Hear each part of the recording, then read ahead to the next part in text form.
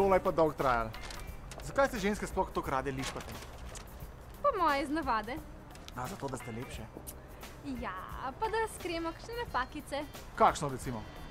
Ja, glej, zato da se tebi zdi, da imam daljše trepalnice, bolj polne ustnice, lepšo kožo. To se pravi, nam lažete.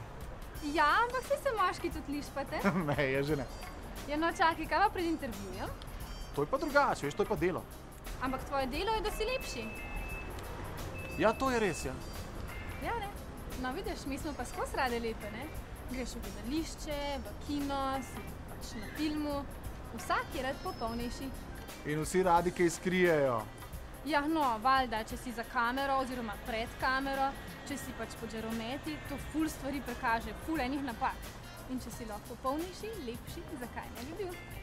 Ja, kdo pa poskrbi za to? Sami najbrž ne, ker to je zahtevan. V bistvu ne vem. Kozmetologi, mogoče vizažisti ali pa maskeri? Škaj predlagam, gremo mi da pogledati na splet, če je kaj več o tem. Ajde, ja.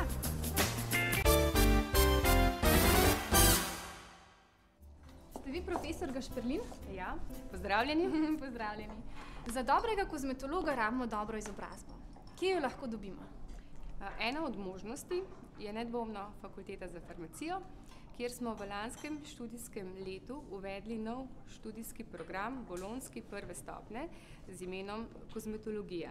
Ta študijski program traja tri leta, dve leti in pol organiziranih predavanj in potem diplomsko delo in daje našim študentom naziv diplomirani kozmetolog. Kje pa se lahko potem zaposlijo? Zaenkrat diplomiranih kozmetologov na trgu dela še ni, ker kot sem že omenila, so prvi, prvi študentje sedaj šele v drugem letniku. Ko smo pa ta študijski program pripravljali, uh, smo pa predvideli možne zaposlitve, torej po končani prvi stopni, po treh letih, uh, za, da bodo naši študentje usposobljeni za delo v kozmetični industriji, torej pri načrtovanju razvoja novih kozmetičnih izdelkov.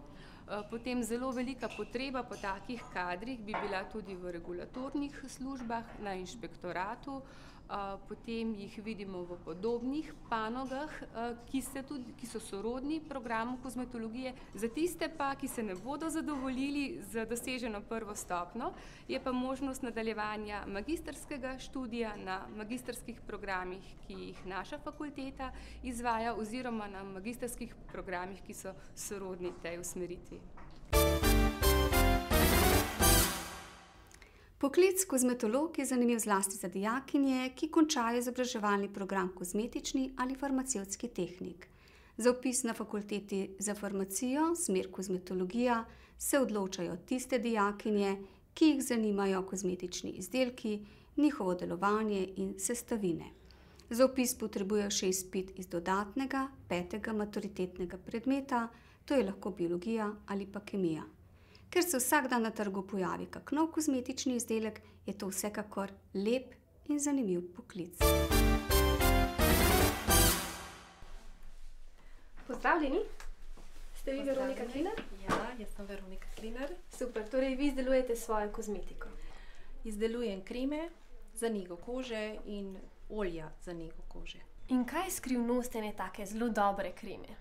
Skrivnost zelo dobre kreme je v tem, da uh, krema da pravo informacijo koži, da koža pride nazaj v lastno ravnovesje.